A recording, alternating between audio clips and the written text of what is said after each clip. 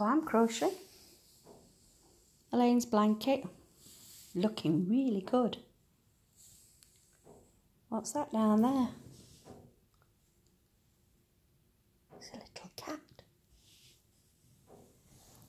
Hid under the crocheted blanket.